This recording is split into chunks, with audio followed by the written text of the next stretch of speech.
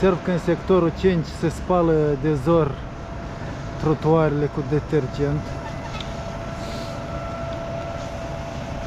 Dar mă întreb cât de ecologic curat e detergentul ăsta și cât de legală e procedura.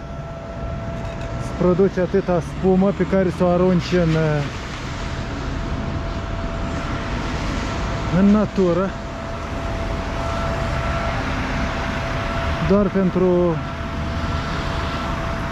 moftul politic al primarului de a căpăta popularitate.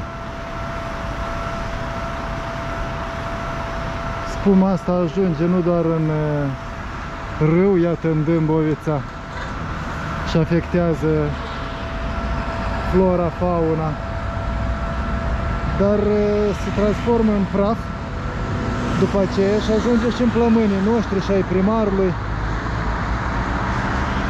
și ai celor din uh, garda de mediu.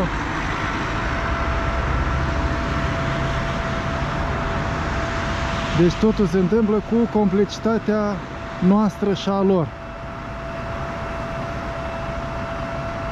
Podul eroilor din capitală. Duminică după amiază.